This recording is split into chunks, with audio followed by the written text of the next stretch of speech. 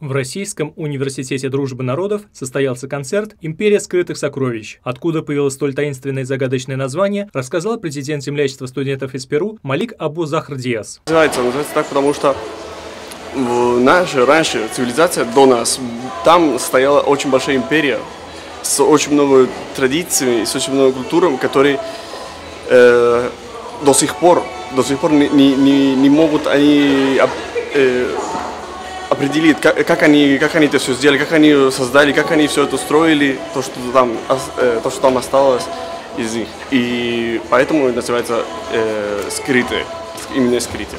Концерт проводится ежегодно. Программа постоянно меняется, так как приезжают новые студенты со своими идеями, способностями и различными талантами. Ацтеки и шаманы освещали своим присутствием пространство актового зала РУДН. Концерт организовали представители землячества Перу. Тем не менее, Российский университет дружбы народов, как вуз, объединяющий в себе множество стран, обогатил перуанский праздничный вечер студентами из других государств Латинской Америки. Они приняли активное участие и выступили со своими номерами. Зрители смогли побывать в Перу, начиная от истоков сохранившихся в истории до сегодняшних дней, находясь в одном зале университета, а все музыканты и другие участники театрального действа получили призы. Телевидение РУДН. Новости.